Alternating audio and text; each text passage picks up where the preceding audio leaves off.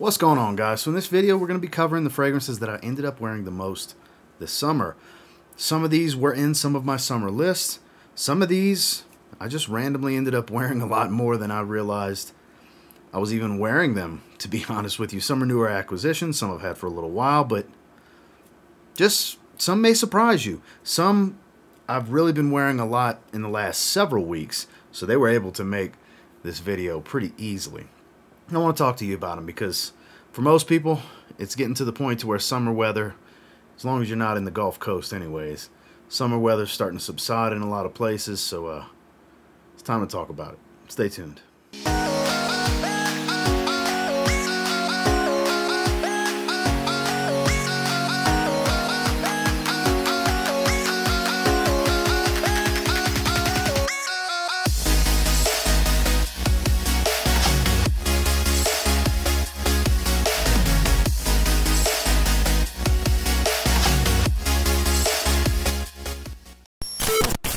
Starting with probably my favorite pickup that's ideal for summer this year.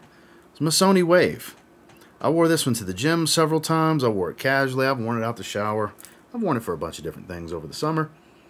It's just a beautiful, creamy Chanel L'Homme Sport type of fragrance. A little bit of citrus, aquatic, clean, and a little soapy. There's a sweetness here. There's a light floral tone. There's a lot going on here without it smelling like a very deep fragrance at the same time. Beautiful stuff, easygoing, decent performer, can be found for cheap.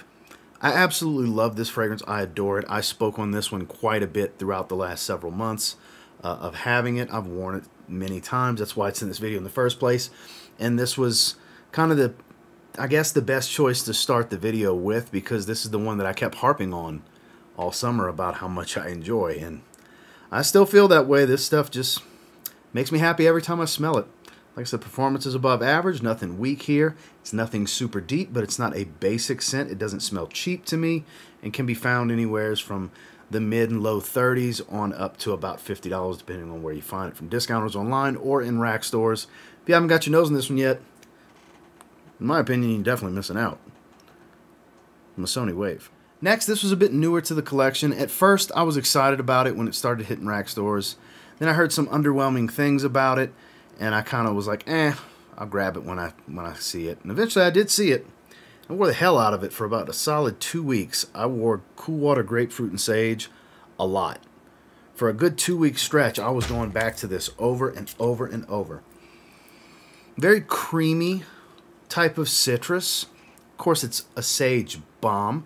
It has that slight bubblegum, light, fresh, spicy aromatic tone to it that sage is known for. As it starts to settle down, it does get a little bit more musky, but it's pretty straightforward. Minus changing out some of that creamy citrus. It's a creamy grapefruit smell. It's very strange. It's pleasant, just a little different. You transition from a little bit of that citrus to kind of swapping it out for some light, clean musk in the dry down. So it doesn't change much. Performance is actually very good for me. You can find this one in the mid 20s up to about 40 bucks, depending on which rack store you find it at. I found it at Marshall's for $26.99 for 125 ml, and I absolutely love this stuff. I did a full review on it not that long ago, within the last few weeks. I did a full review. Just really, really been enjoying this one. It's nothing groundbreaking and special. If you have Cool Water Intense, there's going to be some redundancy here. They do have a similar type of scent profile, not exactly the same, but very similar. It's not quite the beast of Cool Water Intense either, but uh, it's kind of like Cool Water Intense Light. I know that's weird because I said intense and light, but because it smells similar to it and it's not quite as strong. But I think it's a pretty damn good fragrance for the money. I definitely ended up wearing it a lot for a certain stretch during the summer. It's Davidoff Cool Water, Grapefruit and Sage. This one has kind of been my go-to for the gym. Um, it's the gym fragrance I've worn the most this summer. It is Kenneth Cole Blue. Basically a cheaper Versace Man Eau Fraîche in many ways. This is orange, sea notes, and maybe like a woody note or a musky note or something like that. It's synthetic. It's a little bit on the sharp side, but it's pleasant and enjoyable. Very clean fragrance. Not a really strong performer. It fits the bill completely for what I like to wear to the gym. This is a superstar for a gym bag type of fragrance. I love this stuff for it. That's pretty much what I bought it for. I had a bottle of this in the past. I do have a backup one ounce bottle that's sealed that came in a bonus pack with this 50 ml. So um, it's one that I'll continue to go back to, I'm sure, because it's just kind of an easy reach, dumb, dumb reach, grab and go type of fragrance for the gym. Because I go to the gym at least five days a week, most of the time a little bit more than that, usually about six days a week. So stuff like this, I reach for all the time. I actually started a monthly gym rotation video format because I have that's that's a thing for me. It matters to me, so I figured I'd make a video out of it. But this is the one I've been wearing the most throughout the summer. Um, it's a close race. There's some I've been kind of rotating out recently that we'll discuss at the end of the month in that video. But during the summer, this was definitely the gym bag fragrance that I was spraying the most. You haven't tried this one? Eh, I'm not saying you're missing out, but it's decent. Kenneth Cole blue. This one was a pretty new acquisition. Um, I don't think it's the greatest fragrance in the world for the summer, but it definitely works in the season. But it's one of my favorite blue fragrances that I've smelled in some time. Rochas L'Homme. This is another one that I've talked about countless times throughout this particular summer, on into the, the fall videos that I've been doing as of late, because this is just so good. Juniper geranium, fresh greens, light woods. Doesn't smell cheap, but I paid $30 for it. This is a great signature scent fragrance. This is awesome for workplace setting. This can dress up. This is a great casual fragrance at the same time. I deem it to be great three seasons, spring, summer, fall, but you can even wear this one in the winter if you want to, if you want something that airs on the fresher side for very cold weather, which I'm sure at some point this winter coming, I'll spray this one at least once or twice. I'll wear it it's great stuff, guys. I'll continue to recommend this one because this is an absolute bargain and steal in men's fragrances for the 30 to $40 price bracket. It's it's undefeated in my opinion. I can't really think of a 30 to $40 fragrance at discounters that I really think is better than this. I mean, some that are on par with how much I enjoy them. Obviously, it's just my opinion, but I think this can do it all. This is one of the best fragrances out there in my opinion especially in the price bracket. And I ended up wearing it a pretty good bit this summer. I did a full review on it also. It's Rochas L'Homme. This is probably the last version of this fragrance most people would think of for the summertime. But I don't know, I just kept enjoying it. There was a stretch of a few weeks in a row where it was in the weekly rotation. I'm talking about Dior Sauvage Parfum. This is my big 200 milliliter bottle. The Parfum of all things is the version of Sauvage I wore the most this summer. I didn't wear Elixir but maybe one time think I wore its clones more than the original. A couple of times this summer. Wore the EDT maybe once. EDP I definitely wore at least once. But this, I wore about a handful or so of times. God, this smells so good. It's still my favorite version of Sauvage. That's why I'm so glad it's the biggest bottle of Sauvage that I have. It's a 200 milliliter bottle. What I paid for this, you can't even come close to getting 200 ml for these days. I got this for 130 something a few years ago on Fragrance Net with a great deal. And uh, now I think the last time I saw it on Fragrance Net with 37% off, it was like right around $200. So super happy to have this. It's like a lifetime supply of Sauvage Parfum for me. That's one of the reasons I reach for it more is because I have so much of it. But it's also my favorite scent profile. There's a little bit of citrus. It's got this resinous smoky tone to it from this olibanum that's in here. You still have that aromatic touch to it with some lavenders, a little bit of wood. It's got a little bit of spice, but not much. There's some sweetness in the backdrop, but I wouldn't call this a very sweet fragrance either.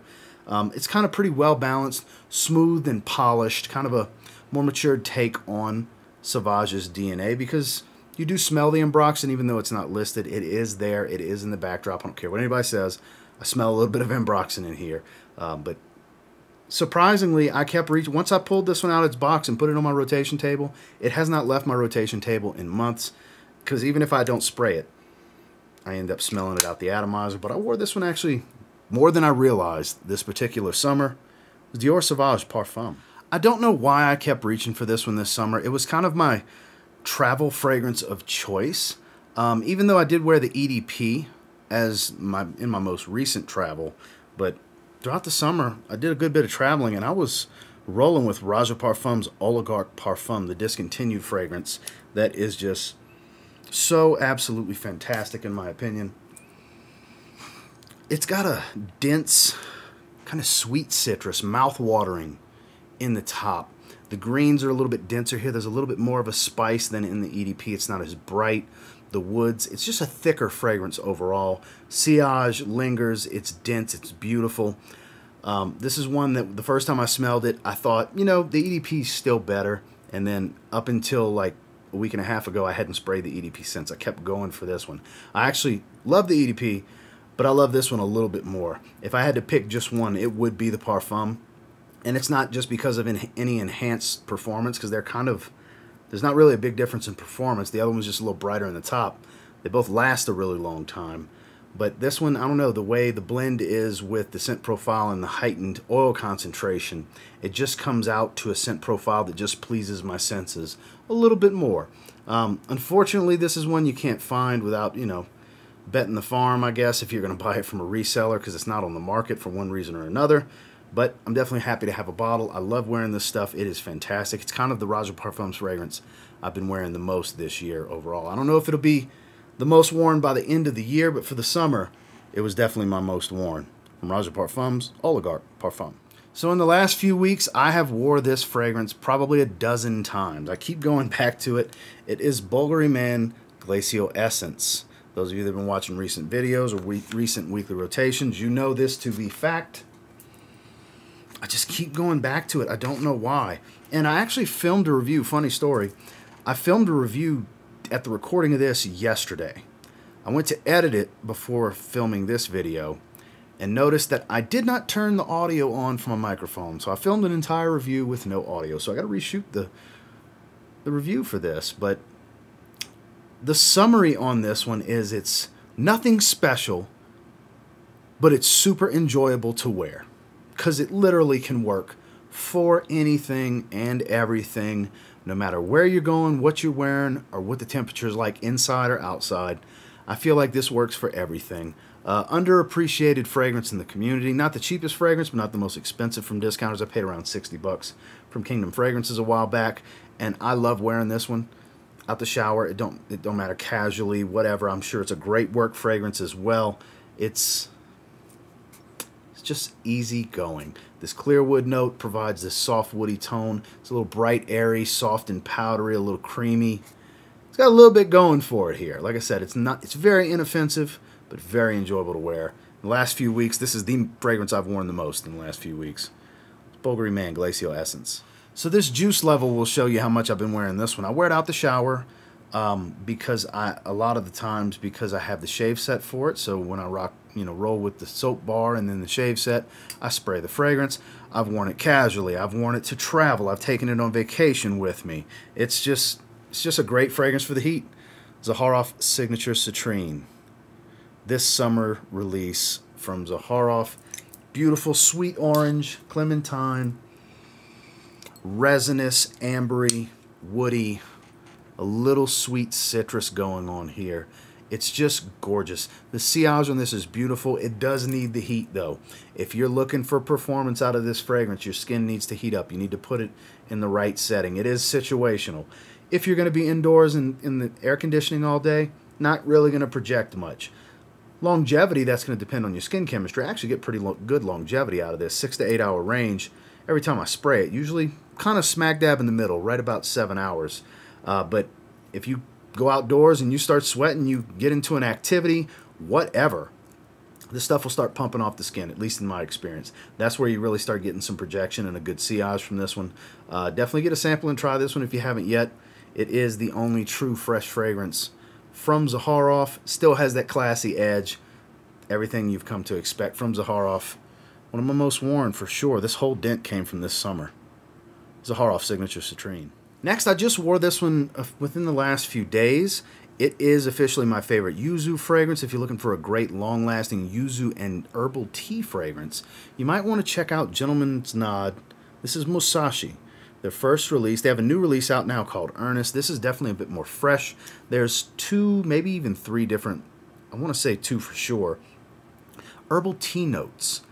Um, and there's also, I want to say an oolong tea, and I forgot the other. I can't remember off the top of my head.